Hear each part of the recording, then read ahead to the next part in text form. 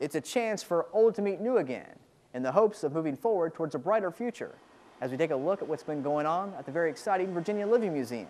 As a brand new expansion project not only increases the size of the overall campus, but looks to educate and inspire us all to live green.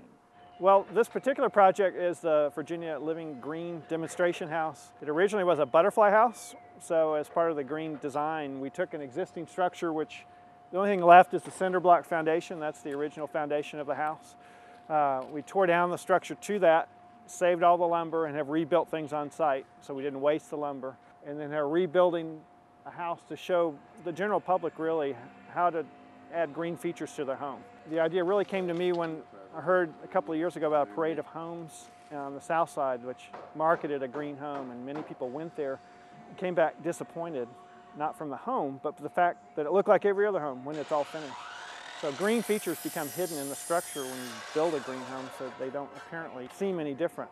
So we want to come up with a see-through house so that you can see through the walls, see through the roof, and just see how it works. So this is meant to be an inside out look at a green home.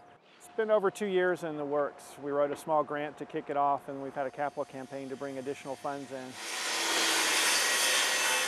Yeah, the whole concept here is to bring the two buildings together. This is the original building built in 66 and added on to many times. And then we have the newer building in 2004. But the area between was kind of neglected. It was a picnic area and, and just wasn't very attractive. So we're adding it as a just a beautiful outdoor area with gardens, a living greenhouse, an amphitheater. We're adding a waterfall feature in the background. Does not look like much at this point because it's halfway done. But uh, that will be a backdrop from the lawn area where you can potentially have a wedding or we can have an Earth Day festival with vendors out front and have this beautiful natural waterfall in the background. Uh, but it is natural in the sense that we're mimicking a waterfall in the western part of Virginia right out here in the middle. But it's really just a, a, green space that we were missing before for people and groups to, to get out and enjoy. I mean, living green really does connect to wildlife. You may not think it does, uh, but uh, buildings in America produce about 40% of the greenhouse gases. So just your home and our museum itself on a daily basis create almost half the problems that we have.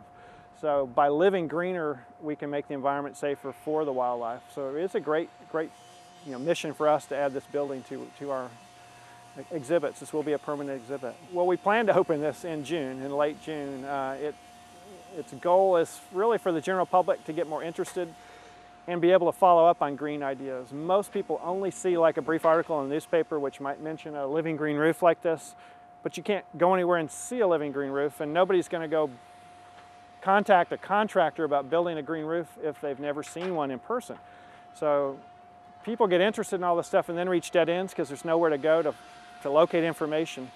So that's the whole purpose of this, is to just create some interest and also provide some avenues that people can go down to find those contractors or vendors or suppliers. Um, that's a huge gap between wanting to do something and be able to pursue it. Brand new direction for us. We've never had a architectural display or any kind. We focus just on gardens and nature, but uh, this blends in nicely because it helps promote conservation of wildlife through making a more energy efficient building.